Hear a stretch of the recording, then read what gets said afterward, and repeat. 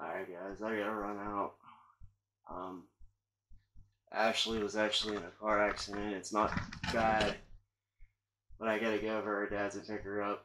And I wanna do an experiment because just something something seems weird. So here we go.